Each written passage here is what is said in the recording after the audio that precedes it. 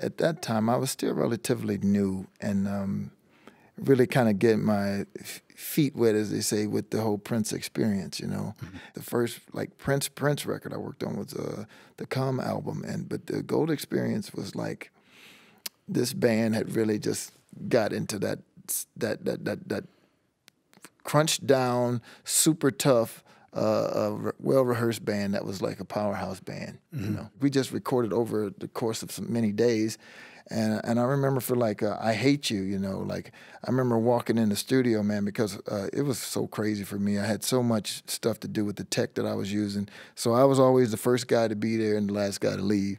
And I and I happened to come in one day, and Prince was just sitting at the piano, and he's like kind of like going through these chords, and I'm listening to him. You know, I'm kind of watching him do his thing, and and um, and he's like you know picking it out and picking it out, and he's like dun dun dun dun, dun and then he's go dun, dun, dun, So it's like he's I'm watching him, and and as I'm watching him, I'm like, wow, this is crazy.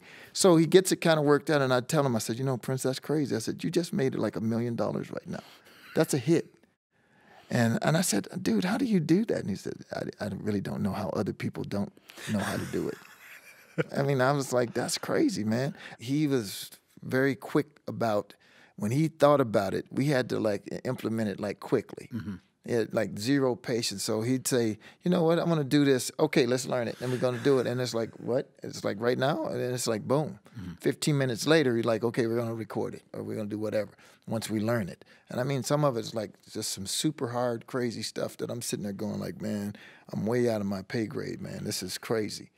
But you know, it was the, the fear of, of, of being killed uh, was more motivation than, than not. So I guess you know I did what I had to do.